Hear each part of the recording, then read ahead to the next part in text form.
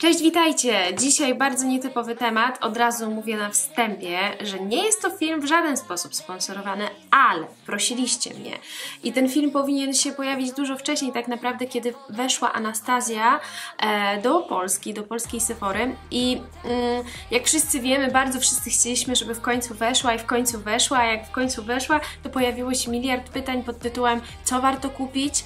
Bo myślałam sobie, że tak czy siak nagram taki niezbędnik, e, ale to tylko dlatego, że może idą święta, zastanawiacie się komu kupić jakiś prezent, na które produkty warto jest zwrócić jakąkolwiek uwagę. No, dlatego nie przeciągając, zapraszam Was na niezbędnik.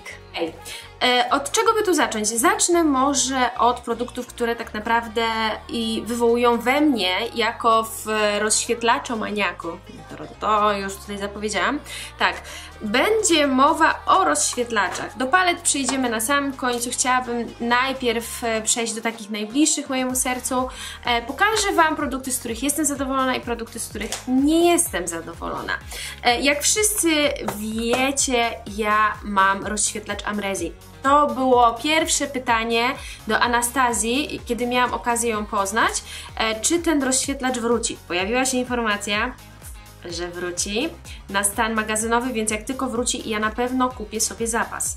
I już Wam tłumaczę dlaczego. Jest to rozświetlacz idealny i nie jest on za ciemny ani dla e, kobiet, które są bardzo blade i, i bardzo ciemne, tak? Jeśli chodzi o karnację.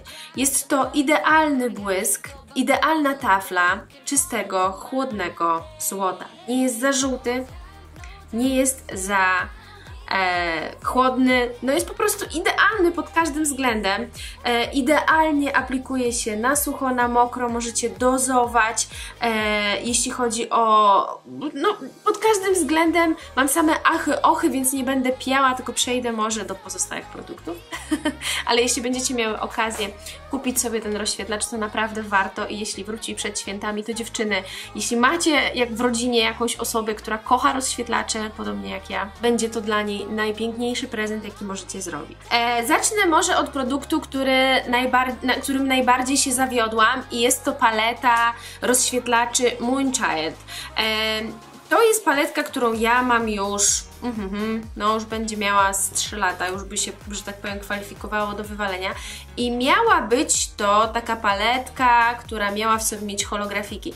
I wszystko byłoby pięknie, fajnie, gdyby nie fakt, moje kochane, że po prostu tu są mikrodrobinki brokatowe, a ten holo nie jest aż tak imponujący. Już Wam pokazuję. Tutaj mamy Blue Eyes, Pink Heat i pokażę Wam Lucky Clover i to są właśnie te...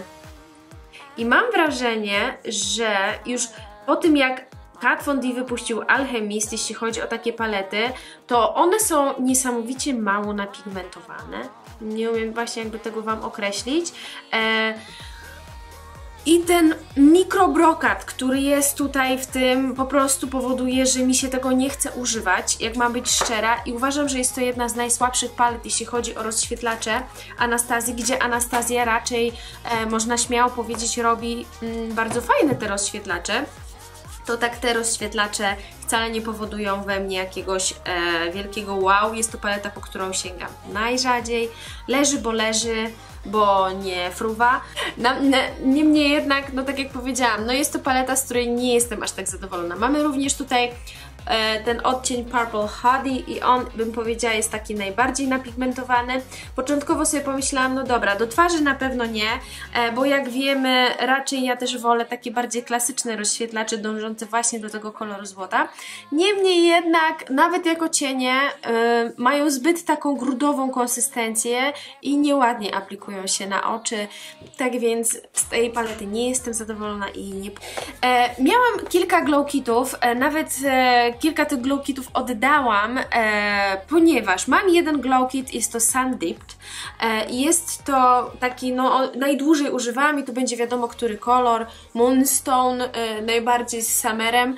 E, jest to, bym powiedziała, fajna paletka rozświetlaczy, ale e, jeśli chodzi o ich sprasowanie, ja Wam pokażę kolorystykę. Jeśli chodzi o ich sprasowanie, to one są takie... Hmm, bardzo wchodzą mocno na e, pędzel. Z jednej strony człowiek by się ucieszył tym, na, natomiast o ile chodzi o oko, to na twarzy robi grudę, szczególnie jeśli jest nanoszony na mokro.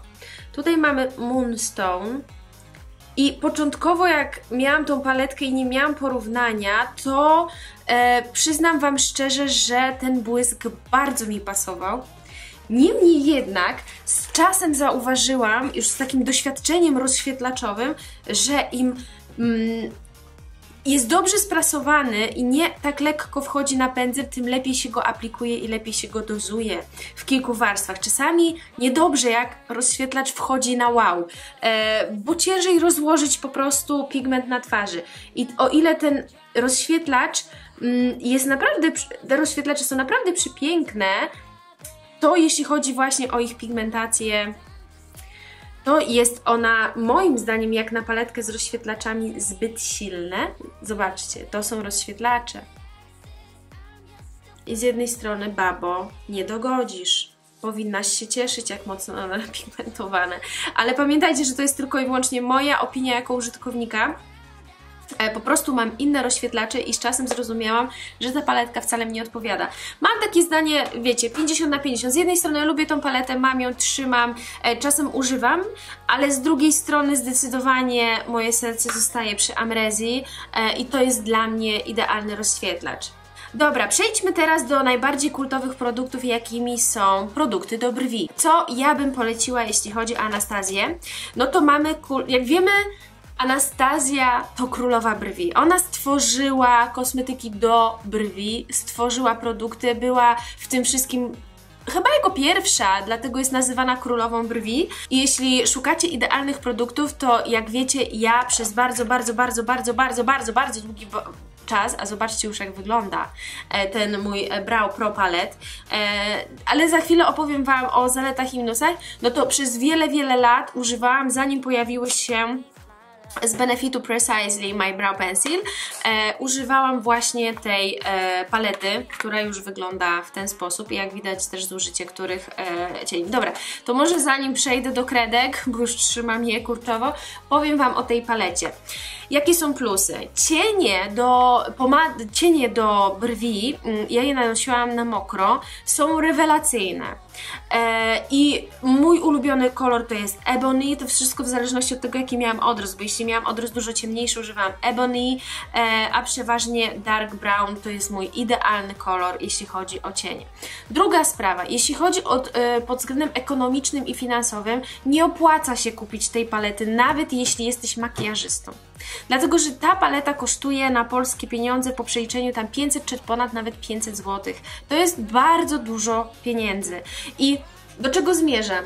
E, będąc makijażystą, pracowałam na tej palecie przez bardzo długi czas i uwierzcie mi, że korzystałam maksymalnie z trzech odcieni. Więc jeśli planujecie zakupić sobie jakieś odcienie, to proponuję właśnie Dark Brown, Soft Brown i Ebony. I to są naprawdę, uwierzcie mi, wystarczające kolory które użyjecie podczas malowania Waszych klientów. Natomiast jeśli chodzi o tą paletkę, no to ona robi wrażenie, fajnie jest w nią zainwestować, ale uważam, że lepiej wydać 3 razy 70 parę złotych, bo możecie kupić te cienie w wersji pojedynczej, e, niż na raz wykopać się z prawie 600. E, więc taka moja lekka uwaga, ale jeśli chcecie kupić bardzo dobre cienie do brwi, to to jest produkt idealny. Anastazja ma w swojej ofercie bardzo genialne produkty. E, ja osobiście nie przepadam za pomadami. E, nie mam pomad. Wszystkie pomady, które dostałam na Opendorze, a trochę ich było, wszystkie oddam Magdzie, ponieważ wiem, że ona jest e, pomadą maniakiem, uwielbia pomady wszelkiego rodzaju, dlatego po prostu dam jej. Ja nie korzystam z pomad, zdecydowanie wolę kredki albo wolę właśnie cienie, mm, dlatego mówię, nie bierzcie tego aż tak mocno pod ocenę, bo pomady Anastazji są też też rewelacyjne. Jeśli chodzi o kolory tych produktów, to są genialne. I tak samo, moje ulubione kredki obecnie są troszeczkę dla mnie za jasne. Ja kiedyś ich używałam, zanim jeszcze miałam zrobione e, permanentne brwi, e, to używałam właśnie soft brown i mam w odcieniu taupe i to to właśnie na Opendorze wróciły do mnie kredki, one są dla mnie trochę za jasne i musiałabym sobie właśnie kupić kredkę dark brown, e, ale na razie mam jeszcze od ciulka za przeproszeniem tych e, Precisely My Brow Pencil, dlatego chcę Wam pokazać, jeśli szukacie genialnej kredki i chcecie się zdecydować na kredki z Anastazji, to te Brow Wizy są genialne genialne. Anastazja ma w swojej ofercie też drugie kredki z takim szerszym gryfem i, i je nie polecam. Bardzo ciężko mi się nimi pracowało, nie są one zbyt fajne, dlatego jeśli chodzi o kredki, to zdecydowanie Brow Wiz jest na plus. Anastazja w swojej kolekcji posiada również genialny żel do brwi.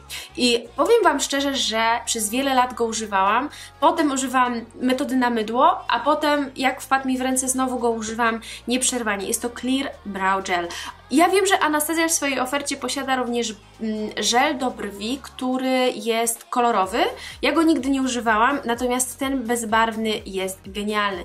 Nic tak dobrze nie trzyma brwi, e, tylko chyba moje mydło tak dobrze trzymało brwi, e, jak właśnie trzyma ten żel z Anastazji i go uwielbiam, kocham i dlatego Wam serdecznie też polecam. Jeśli chodzi o pomadki, swego czasu e, ja nie jestem na liście PR-owej Anastazji Beverly Hills, więc nie dostaję paczek, ale kiedyś, kiedyś miałam bardzo dużo pomadek Anastazji Beverly Hills. Wszystkie mi się zeschły i wywaliłam, ponieważ one tak mm, bardzo szybko zasychają po otwarciu.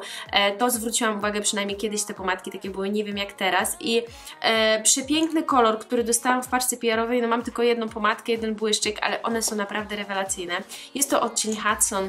Używałam go właśnie w filmiku z tym makijażem, który mam na sobie. Specjalnie celowo zmieniłam kolor ust e, na potrzeby tego filmu, żeby po prostu wyglądać inaczej. I tak wygląda ten kolor Hudson. Jest po prostu przepiękny.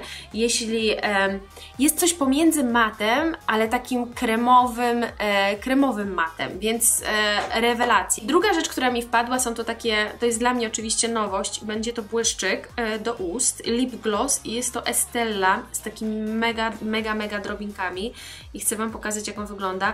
E, Konsystencja jest na bogato, naprawdę na bogato i pokażę Wam jak wygląda. On ma w sobie takie mega, mega drobinki.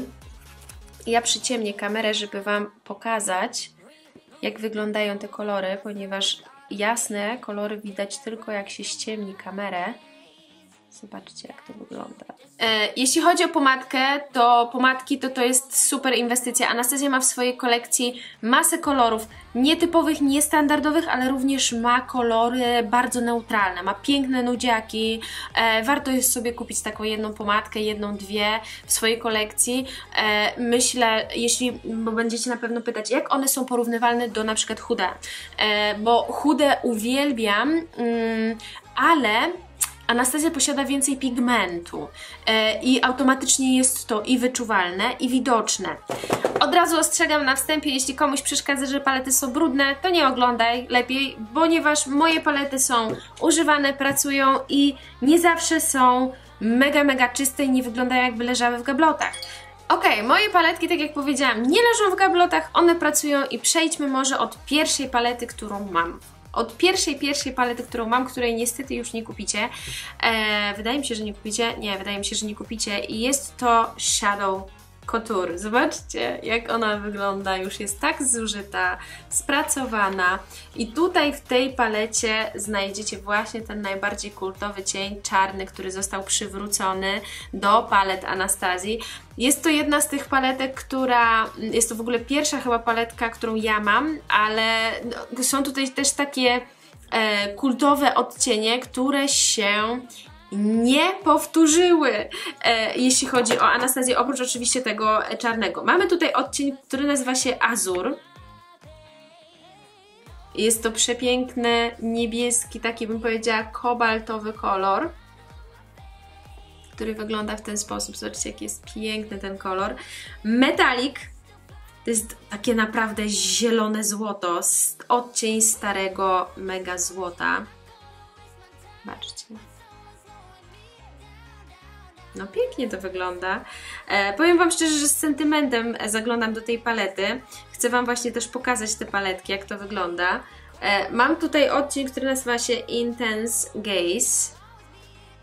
To jest też taki róż. Trochę się boję jej używać już, bo ona jest naprawdę stara, ta paleta. I mam tutaj Pink Champagne.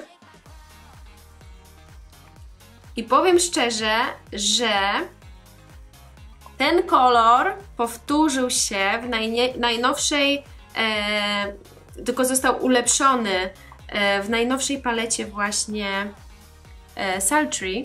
już Wam pokazuję który, e, w Sultry ten kolor nazywa się teraz cyborg. I wiedziałam, że skądś go pamiętam i jest dodane zdecydowanie więcej srebra, ale jest to też ten sam kolor, e, który jest tutaj. On jest delikatnie ciemniejszy, ale to też mogło się tak stać ze względu na po prostu czas, który on posiada, ale jak widzicie jest to ten sam kolor, który właśnie został wyprodukowany. Cyborg jest delikatnie jaśniejszy, ale nie oceniam ich, ponieważ tak jak powiedziałam, zobaczcie, widzicie, praktycznie identyczny. To, co powiedziałam właśnie w recenzji, e, jak robiłam makijaż tą paletką, że... Mm, zauważyłam właśnie, że znam już ten cień i że on delikatnie opazuje, opalizuje na różowo i teraz widzę Pink Champagne, że to jest właśnie ten kolor. E, szkoda, że Anastazja, może kiedyś, kiedyś, bo Anastazja też jest znana z tego, że lubi zaskakiwać, może kiedyś, kiedyś pojawi się, jak to się mówi, e, nowa wersja tej palety Shadow Couture albo ponowią jakby ją w produkcji, jeśli tak, to serdecznie Wam polecam, ponieważ e, no są tutaj takie fajne kolory, kultowe kolory. Dla samej kolekcji warto ją kupić. Kolejna paleta, która się pojawiła e, na rynku to jest Modern Renaissance i to jest zdecydowanie paleta, którą ja najrzadziej używam. E, z niewiadomych przyczyn po prostu, e, o ile lubicie bordo, buraki, róże i inne rzeczy, no to ta paleta była najbardziej kultową paletą, e, też jeśli chodzi o sprzedaż. Pojawiły się też ciepłe tony, genialne maty przede wszystkim, które wywróciły e, jakość e, palet do góry nogami. Jest tutaj masa przecudownych odcieni, bardzo głębokich takich odcieni. Jak również mamy tutaj w tej palecie, ale mało, zdecydowanie właśnie tych błyszczących cieni. Tutaj mamy też taki chłodny odcień. Czy warto kupić tą paletę Modern Renaissance? Uważam, że tak. E, jeśli właśnie lubicie tego typu kolory, e, to dlaczego nie? warto zwrócić uwagę, że mamy tutaj przerost praktycznie samych cieni matowych, a natomiast błyszczących cieni użytkowych jest trzy. Anastazja z czasem zaczęła wrzucać więcej właśnie tych błyszczących cieni do swoich palet. już mniej jest tych matów, teraz bym powiedziała, już nawet w tej Sultry mamy pół na pół, natomiast tutaj mm, zdecydowanie było mniej zawsze tych właśnie błyszczących cieni. E, jeśli pomylę kolejność jakby wydawania tych palet, to nie krzyczcie na mnie. W następnej kolejności po Modern Renaissance była bardzo długa przerwa i pojawiła się paleta, która wywołała największe kontrowersje e, w internecie i jest to subkultura. E, I moim zdaniem jest to jedna z najfajniejszych palet, którą Anastazja wypuściła. Nie przez kontrowersje, tylko pod względem pigmentacji jest to naprawdę rewelacyjna paleta. I tutaj też był podobny schemat, pojawiły się tylko trzy opalizujące cienie, natomiast reszta jest matowa. Czym się charakteryzuje ta paleta? Jest to paleta, która posiada w sobie niesamowitą pigmentację. Zarówno cienie metaliczne, są bardzo mocno napigmentowane, no ale maty są kozacko napigmentowane, bo jest to tak zwany czysty pigment, czystej postaci, bardzo lekko sprasowany, przez co ten pigment potrafi lecieć z palety pod wpływem pędzla, ale też jest niepotrzebne dłubanie w nim. E, jest masa tutaj takich właśnie kolorów, które są przepiękne, są głębokie. Jeśli określenie, też spotkałam się z określeniem, że te kolory są wybrane z życia, nie są. Ma naprawdę przepiękne.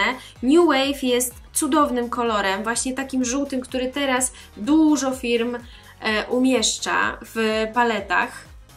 Ja rzadko wracam do tych samych palet ze względu na to, że wiecie, że dla Was testuję tych palet od groma i co róż pojawiają się nowości na rynku i nowości kupuję też dla Was, żeby dla Was je przetestować i Ciężko mi jest po prostu wracać do tych palet, ale subkultura jest jedną z tych palet, do których lubię wracać pod względem właśnie tej pigmentacji. Nie muszę dużo razy nanosić tego cienia. Jeśli nauczymy się pracować z wysoką pigmentacją, to subkultura może stać się dla nas najlepszym przyjacielem.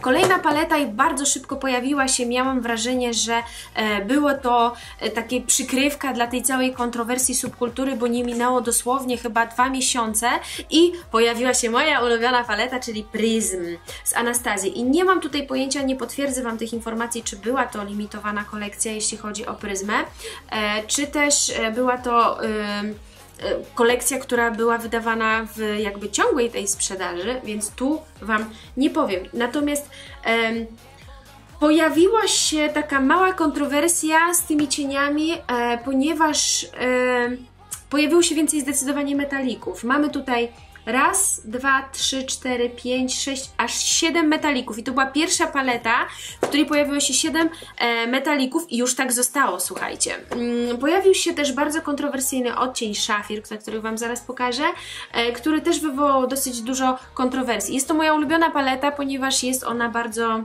nietypowa. Ja lubię takie nietypowe kolory.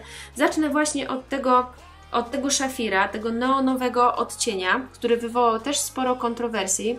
On mm, początkowo, jak ludzie zaczęli go nanosić, w ogóle nie przynosił e, żadnych efektów. Fakt faktem, że neony i stara prawda jest taka, że nanosimy je nie na czystą skórę, tylko nanosimy na białe bazy. Wtedy ten kolor jest wydobyty. E, kolejny kolor, mm, który tutaj jest bardzo unikatowy, jest to odcień Tron. Przepiękna, głęboka, opalizująca pomiędzy niebieskim a zielonym, taka zieleń. E, przepiękny kolor, naprawdę. Oh. E, kolejny kolor, który uwielbiam, jest to Dimension w tej palecie. Jest to pierwszy taki chłodny, srebrny odcień, który przepięknie opalizuje coś pomiędzy fioletem, a właśnie takim chłodnym, to jest taki chłodny fiolet ze srebrem, E, I też tutaj mamy taką zieleń troszeczkę, z daleka lepiej widać, więc Wam pokazuję. E, więc jeśli chodzi o te metaliki, on wywołał tutaj wiele zamieszania. Jeśli chodzi o maty, to tutaj Obsydian się, e, że tak powiem, Saturn, Eden, ale naprawdę tutaj są unikatowe e, metaliczne cienie i pokażę Wam jeszcze ten odcień Lucid. To jest te takie białe złoto, który jest mega podobny i mało osób zdaje sobie sprawę z tego, że ten odcień jest bardzo podobny do, e, do, do czego? Do amrezji. E, przepiękna paleta, która łączy w sobie właśnie takie kontrowersje, e, trochę ciepła, trochę zimna, trochę wszystkiego. Ja na przykład lubię takie połączenia ze względu na to, że czuję, że paleta jest dla mnie bardziej uniwersalna. Mogę z nią stworzyć więcej makijaży. E, w następnej kolejności pojawiła się paletka Soft Glam. Dobrze mówię? Pojawiła się paleta Soft Glam, która zawróciła w głowach chyba wszystkim i mi również. Pojawiły się bardzo neutralne odcienie, bardzo fajna paleta. Wrócił do łask cień Noa, który był właśnie w pierwszy w palecie Shadow Couture e, i mamy tutaj przepiękną gamę brązów, złota, metalików, raz, dwa, trzy, cztery, pięć, sześć, bo on jest taki, bym powiedziała, mamy pięć cieni metalicznych, e, dwa cienie satynowe i reszta są to maty, kremowe maty e, i ta paleta jest idealna. Jeśli chcecie komuś kupić na prezent, to to jest właśnie ideał. Jeśli chodzi o takie neutralne palety, świetnie napigmentowana, super odcienie. Mamy tutaj Rose Pink. Większość już tych mm, recenzji od subkultury znajdziecie na moim e, profilu. Jeśli chodzi o cienie metaliczne Anastazji, to to są najlepsze e, cienie metaliczne, z jakimi w ogóle miałam kiedykolwiek do czynienia. Piękny metal, e, piękna formulacja, e, nic dodać, nic ująć. Następnie, zaraz po soft glamie, też już długo nie czekaliśmy, pojawiła się Norwinka. E, I Norwina, jak wiecie, nie jest moją ulubioną paletą. Mamy tutaj pół na pół metal mat e, i jedna satyna. I ten satynowy cień się w kółko, że tak powiem, też przewala już od soft glama i pojawił się również w subkulturze taki bazowy, mm, że on nie jest stricte mocno matowy, ale jest właśnie coś w nim. Jak wiecie, jest tutaj kilka fajnych odcieni i będą zwolennicy e, tej palety. Natomiast tak jak powiedziałam, o ile metaliki są kozackie, to na przykład podoba mi się w tej palecie, że mamy i ciepło, i zimno. Jedyny cień, którego właśnie nie lubię, to jest ten odcień Soul, który jest dla mnie takim brudaskiem. E, on mi się średnio podoba. Dalej podtrzymuję takie same zdanie jest też bardzo fajna. No i paleta Sultry, która ostatnio pojawiła się recenzja tej palety na moim kanale. Mamy inne totalnie opakowanie w glitterze, który się sypie niemiłosiernie wszędzie, po całym pokoju, e, wszędzie się przenosi ten glitter, więc to jest zdecydowanie minus. No i ta kolorystyka, która nie wywołuje we mnie praktycznie żadnej. E, dzisiaj mam wykonany makijaż tą paletą i szczerze powiem, że jeśli chodzi o kolorystykę, to jest ona najmniej bliska mojemu sercu. E, czekam na kolejne dzieciaczki Anastazji, zobaczymy co ona wymyśli, a raczej co Norwina wymyśli nowego, jeśli chodzi o palety. Czy warto jest kupować tak drogie kosmetyki, czy nie lepiej szukać odpowiedników? Ja w większości, jeśli chodzi o Anastazję Beverly Hills, ja zapłaciłam wszystko sama, ponieważ tak jak już powiedziałam, nie jestem na liście PR-owej Anastazji, ale Anastazja ma genialne produkty, naprawdę. I opowiadałam dzisiaj o produktach, które mam sprawdzone, które uwielbiam i moim zdaniem też odpowiem na pytanie od razu, które najczęściej dostaję od Was, Jaka paleta dla początkującej osoby? Ja uważam, że trzeba zaczynać od dobrej jakości, lepiej uzbierać je przez parę miesięcy sobie na taką paletkę właśnie i ją kupić. I nawet jeśli Sephora często ma promocje, co jest teraz bardzo atrakcyjne, bo jak wiecie, Anastazja nie robiła promocji, natomiast Sephora robi je często, to minus 20% możecie nawet za 170 zł kupić taką paletę, to uważam, że warto jest e, zacząć od dobrej jakości, a nie zaczynać od złej jakości. E, czyli od tych nisko, nisko nisko, nisko półkowych i po prostu cienie mają nam ułatwiać pracę i Anastazja to robi. Anastazja jest świetną jakościowo firmą i na pewno jest niejednym marzeniem wielu dziewczyn w internecie, jak nie tylko w internecie, żeby właśnie sobie ją kupić. Kochani, tak wygląda mój niezbędnik, jeśli chodzi o Anastazję. Mam nadzieję, że taki film Wam się podobał. Piszcie koniecznie w komentarzach na dole pod tym filmikiem, jak podoba Wam się film, e, czy chcecie więcej takiej tematyki, czy fokusować na inne firmy, jaką firmę poruszyć następną, co warto kupić. E, czekam na Wasze propozycje, na Wasze komentarze. Pięknie Wam dzisiaj dziękuję za uwagę, mam nadzieję, że komuś się przydał ten filmik i do następnego. Trzymajcie się, hej!